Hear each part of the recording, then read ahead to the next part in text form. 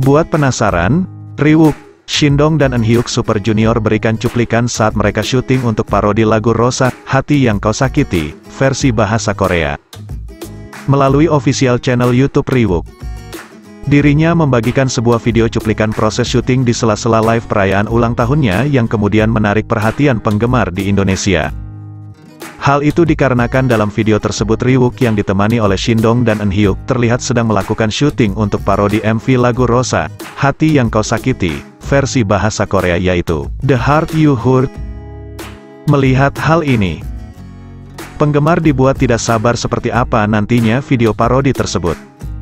Ditambah lagi lewat cuplikan tersebut diperlihatkan keniatan dan proses yang sama seperti ketika syuting musik video untuk comeback sehingga membuat penggemar salut dan terhibur akan totalit, Triwook dan Shindong dalam menggarap video parodi tersebut.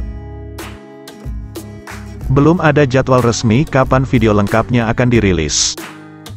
Penggemar berspekulasi bahwa video parodi ini merupakan hadiah yang disiapkan oleh Ryuk di hari ulang tahunnya untuk para penggemar.